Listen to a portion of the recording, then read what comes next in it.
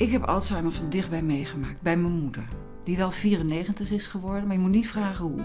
Het was echt verschrikkelijk. Ze had heel zwaar Alzheimer. En op die manier komen mensen niet op een mooie manier aan het einde van hun leven. Dus ik zou willen dat er veel meer geld naar onderzoek naar Alzheimer gaat. En daarom is het belangrijk dat er veel donateurs zijn. Dus word donateur. Het telefoonnummer 0800 1102. Bel het alsjeblieft. Het is heel belangrijk.